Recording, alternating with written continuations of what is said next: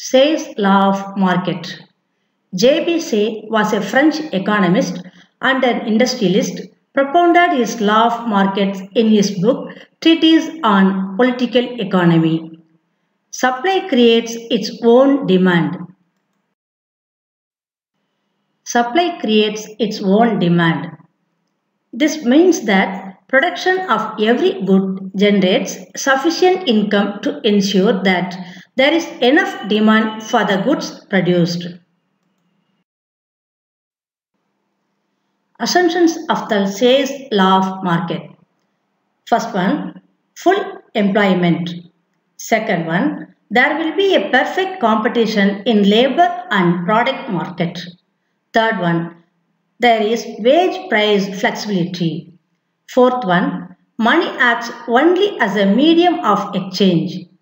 Fifth one, there is no possibility for overproduction or unemployment. And sixth one, no government intervention, automatic price mechanism operated.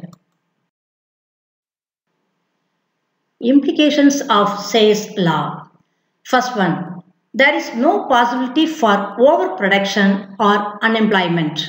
Second one, if there exist unutilized resources in the economy.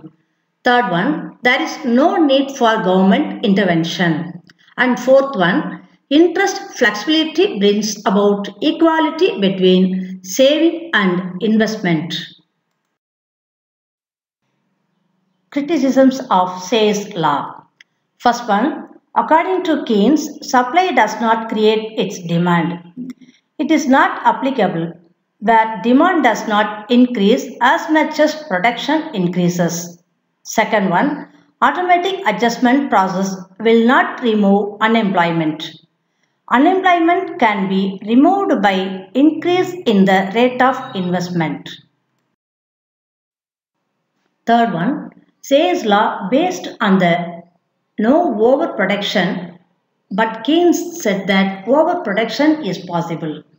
Fourth one, Keynes regards full employment as a special case because there is underemployment in capitalist economies. And fifth one, the need for state intervention arises in the case of general overproduction and mass unemployment.